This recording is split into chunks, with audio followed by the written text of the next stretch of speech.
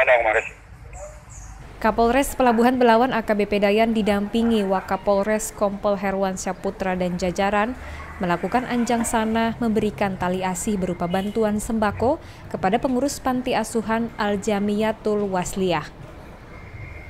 Bantuan ini diberikan dalam rangka bakti sosial menyambut Hari Bayangkara ke-74 tanggal 1 Juli 2020 dan merupakan wujud kepedulian Kapolres Pelabuhan Belawan beserta jajarannya untuk membantu masyarakat yang membutuhkan. Pengurus panti asuhan mengucapkan terima kasih atas bantuan yang diberikan oleh Kapolres Pelabuhan Belawan. Dari Belawan, Sumatera Utara, Parsarwan Sitorus, Tribrata TV, Salam Tribrata.